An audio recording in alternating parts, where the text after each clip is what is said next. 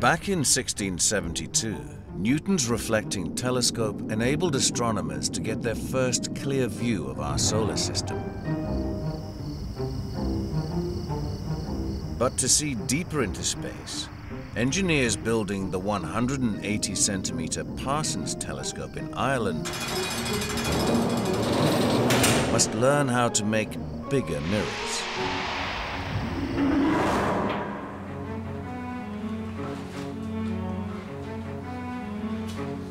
In 1839, Irish astronomer William Parsons begins to design a huge telescope. He hopes it will help solve one of the mysteries of deep space.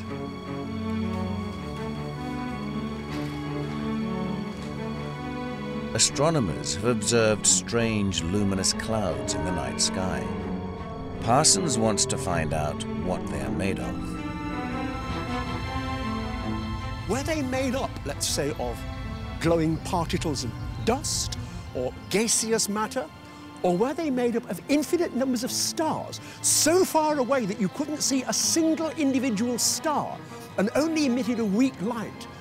So what do you do? You build a giant telescope. To have any chance of capturing the light from these faint specks in the sky, Parsons needs a giant mirror. In the time of William Parsons, telescope mirrors are concave, like shaving mirrors, laboriously ground by hand.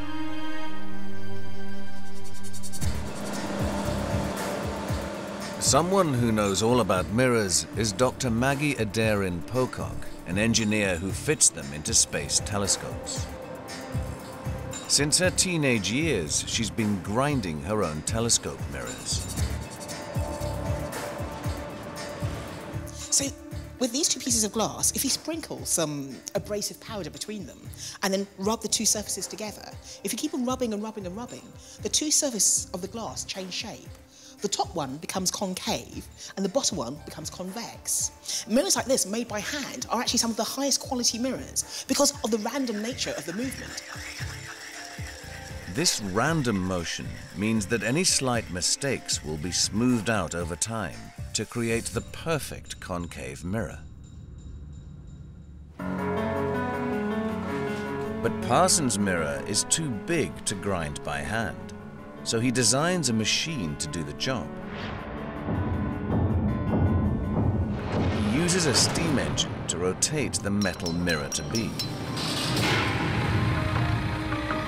Then he lowers an abrasive disc onto the surface of the mirror and connects it to a pair of arms.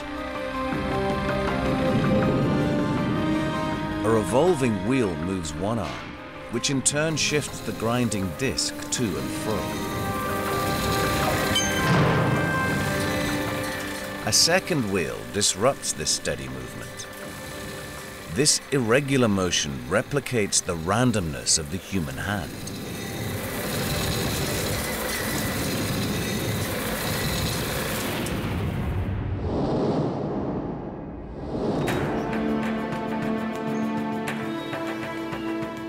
The completed mirror is enclosed, not this time in cardboard, but at the bottom of a great wooden tube, 17 meters in length. The tube is suspended on chains between two massive stone walls. Counterweights allow it to be lifted with ease towards the heavens. When this telescope was opened in 1845, it was one of the great scientific events of Victorian England. The great and the good were here. Scientists, philosophers, arts people, and also, too, ordinary people. It was the inauguration of one of the most wonderful great machines in the history of science. Parsons points his great machine at one of the mysterious luminous clouds in the sky. He sees not dust, but stars. Today we know that he was looking at the Andromeda Nebula, a galaxy neighboring our own made up of billions of stars. William Parsons' telescope acts as the great stimulus for the next great giant telescopes of the early 20th century and, of course, into our own day and age.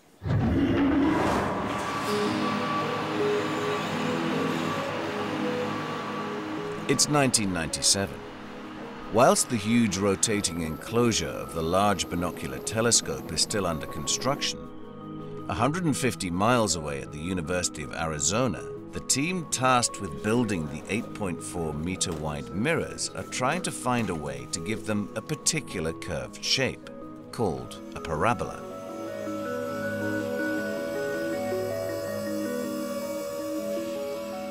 Creating a parabola with glass is simple, so long as you melt the glass first and give it a spin. In here, I've got some water, which is representing the molten glass of the mirror. So what I'm going to do is spin it up gently, and as it starts going faster and faster, the centrifugal forces will move some of the fluid outwards, and you get your nice parabolic shape.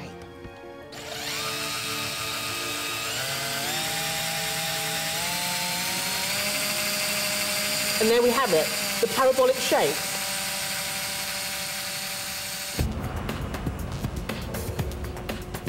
Do this on a large scale, technicians at the Mirror Lab build a giant rotating furnace into which they load 21 tons of glass.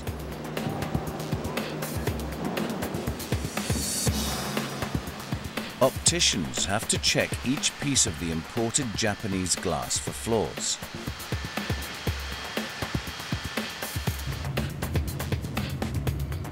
The furnace heats the glass until it melts, whilst spinning at seven rotations per minute.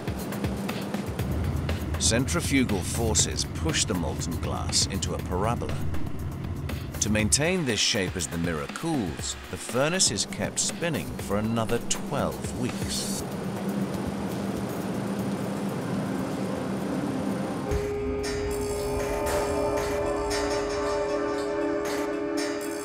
Next, the mirrors are polished to create the perfect surface. Even today, the polishing tool is designed to mimic the random action of the human hand. Normally, if you're doing it by hand, if you're an amateur telescope maker, you rub, you have some kind of grit, and you rub on this surface to make it as smooth as you can. Well, this polishing tool accomplishes those same things. It has pads that you apply to the surface of the mirror and it rubs the mirror. These actuators apply a different amount of force moment to moment that changes the shape of that underlying surface. That means that each pad is pushing down with a little different force and a little different angle of attack moment to moment as it goes over the surface of the glass. In the final stages, the polishing tool removes a layer of glass just 100 atoms thick each time it passes across the disc.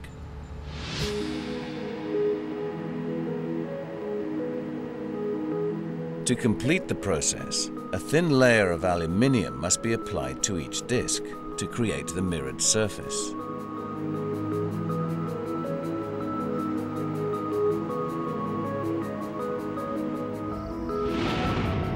Engineers place the glass disc inside a giant bell jar.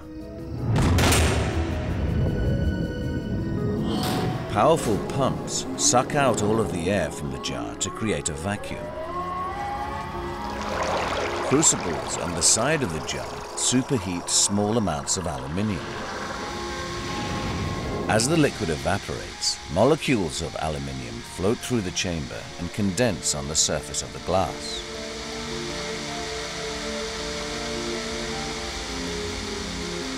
Vacuum ensures the molecules spread evenly across the entire surface to create a flawless reflective mirror.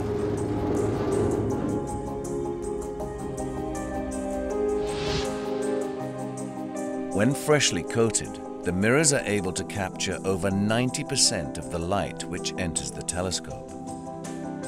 After almost four years of spinning, polishing and testing, the mirrors are finished the outcome was spectacular. The deviation from the perfect figure was about 25 nanometers.